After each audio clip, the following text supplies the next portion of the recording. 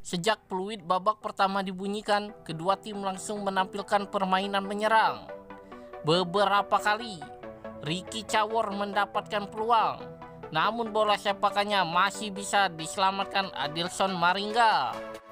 Begitupun dengan Pripat Mbarga yang beberapa kali mendapatkan peluang, namun bola sepakannya masih melenceng tipis ke samping gawang. Tepat pada menit ke-21, Kesano mendapatkan peluang. Namun bola sepakannya masih bisa diselamatkan Adilson Maringga.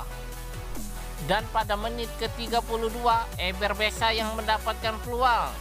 Namun bola sepakannya masih bisa diselamatkan oleh Pintus.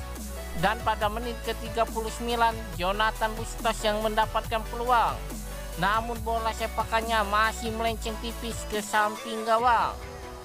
Kendati kedua tim bermain dengan permainan menyerang, tetapi sampai menit babak pertama berakhir, kedudukan kosong-kosong pun tidak berubah.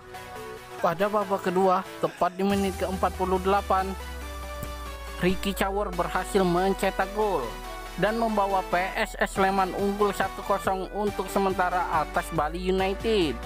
Tertinggal 1-0, Bali United langsung menaikkan tempo permainan cepat. Pada menit ke-56, Eber Besa mendapatkan peluang.